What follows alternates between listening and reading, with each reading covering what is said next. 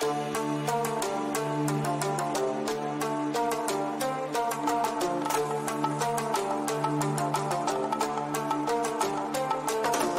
दोस्तों, अभी अपने क्या देखा? एक फ्लमिंगो दूसरे फ्लमिंगो के शर में अपनी चौंच घुसा के खून निकल रहा है। वीडियो देखा तो अपने सही पर समझने में गलती हो गया। यह खून नहीं क्रॉप मिल्क है, जो एडल्ट फ्लमिंगो के शर में छेद करके निकला जाता है। और ये क्रॉप मिल्क उनके बच्चे खाते हैं।